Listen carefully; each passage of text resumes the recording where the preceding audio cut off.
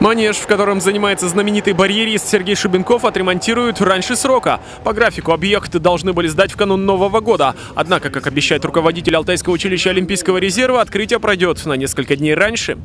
Покраска стен, э, доделать, доделать потолок, ну и уложить э, покрытие Долгое время в здании протекала кровля, затем начала разрушаться одна из стен.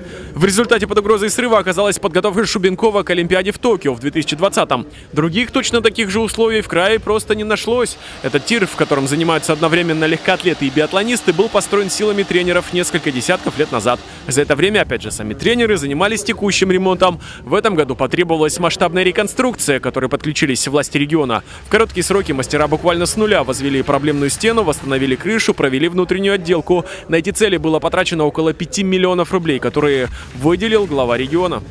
Очень благодарны э, губернатору Виктору, Виктору Петровичу Томенко за участие, за выделение средств. Ну и практически это позволило сохранить вот это спортсооружение у нас э, в структуре училища Олимпийского резерва. Ну и в дальнейшем оно будет приносить, конечно, огромную пользу нашим спортсменам, барнаульским училища и краю. Первыми обновленные апартаменты должны будут опробовать подопечные Сергея Клевцова, у которого как раз и занимается Сергей Шубенков. Пока спортсмены вместе с тренером находятся на соревнованиях в Омске. Вернутся через 10 дней как раз к открытию.